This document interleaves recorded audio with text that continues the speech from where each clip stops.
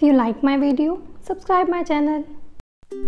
Morning everyone welcome back to my channel Urvashi's cooking and blogging और मैं हूँ उर्वशी अग्रवाल। कैसे हैं आप सब?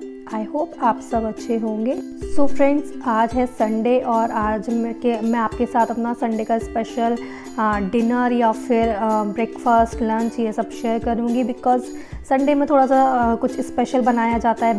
बिकॉज़ वीक डेज़ में तो आ, किसी को स्कूल जाना होता है या फिर किसी को ऑफ़िस जाना होता है तो जल्दी जल्दी में इतना टाइम नहीं होता तो बहुत नॉर्मल सा खाना बनता है। और अभी बस मैं नहा कर आई हूँ और इसके बाद मैं बस क्यान को नहलाने के बाद अपना किचन में जाऊँगी और किचन में आज मैं बनाऊँगी अपना आ, बेसन और ब्रेड के टोस्ट शायद आपको आज पूरी वीडियो में ज़्यादातर वॉइस ओवर ही मिलेगा।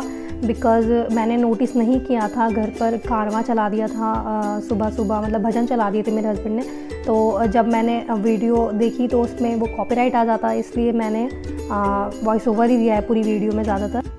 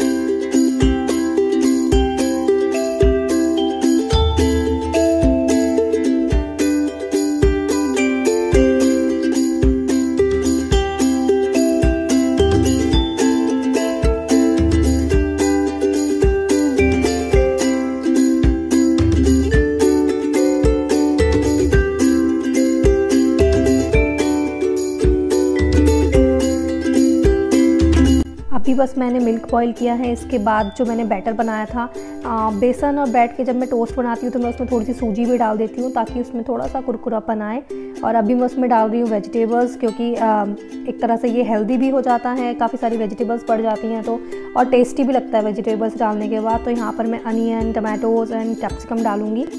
यहाँ पर आप प्लीज़ देखकर ये मत बोलना कि मैं क्यान से भी वेजिटेबल चॉप करा रही हूँ।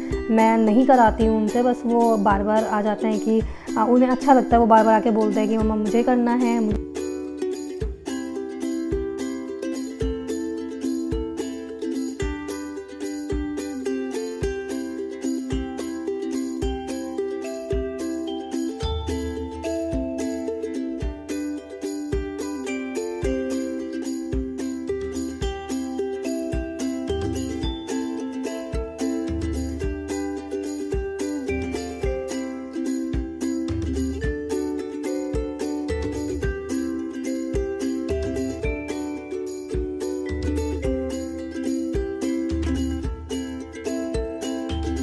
और अब मैं इसमें डाल रही हूँ कुछ अपना बेसिक से मसाले, जैसे कि सॉल्ट रेड चिली पाउडर अजवाइन और हींग।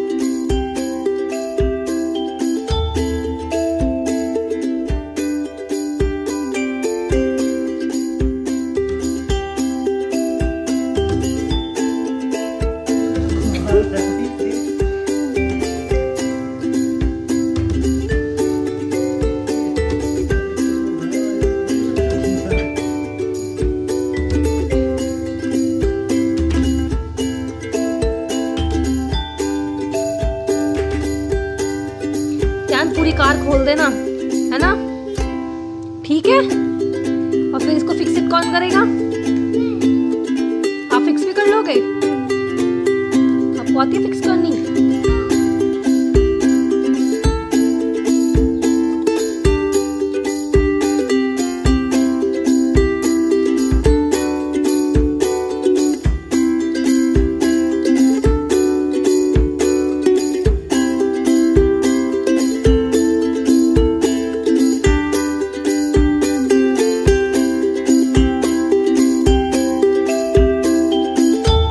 बस अभी हम लोग 12 बजे के आसपास हम लोग चले गए थे मार्केट थोड़ी सी शॉपिंग करने के लिए।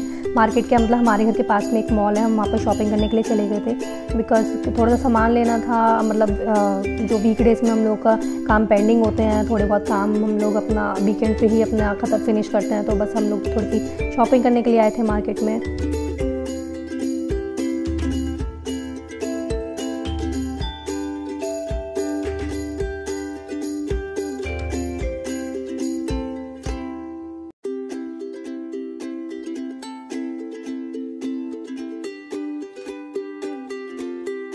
सी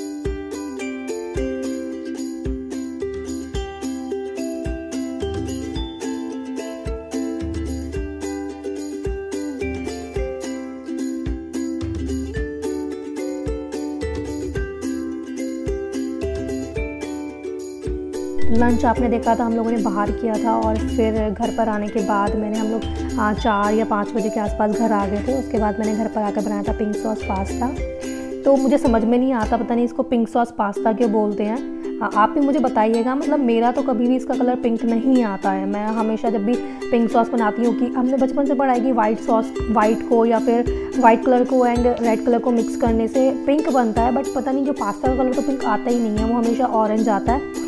बट बचपन से पढ़ा है तो हम लोगों ने उसका नाम बस पिंक सॉस पास्ता रख दिया बट इट्स ओके कोई फ़र्क नहीं पड़ता।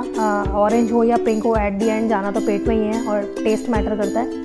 तो फिर घर पर आने के बाद मैंने आज डिनर में स्पेशल बनाया था पिंक सॉस पास्ता स्पेशली मतलब इसके लिए भी बनाया था और साथ में मुझे रेसिपी भी शूट करनी थी क्योंकि मुझे वीडियो डालनी थी इसकी। तो इसलिए भी मैंने बनाया था पिंक सॉस पास्ता पास्ता की वीडियो आपको मिल जाएगी आगे और अगर आपको अच्छा लग रहा है पास्ता देखने से या फिर आपको इसकी वीडियो चाहिए, देखनी है तो चैनल को सब्सक्राइब कर देना। तो चलिए फ्रेंड्स, मैं यहाँ पर ही करती हूँ अपने ब्लॉग को एंड और आपको मेरी वीडियो अच्छी लगी हो तो वीडियो को लाइक करना, शेयर करना, कमेंट करना और हाँ वीडियो अच्छी लगे तो चैनल को सब्सक्राइब ज़रूर करना। तो मिलते हैं हमारे नेक्स्ट वीडियो में, तब तक के लिए stay healthy and keep watching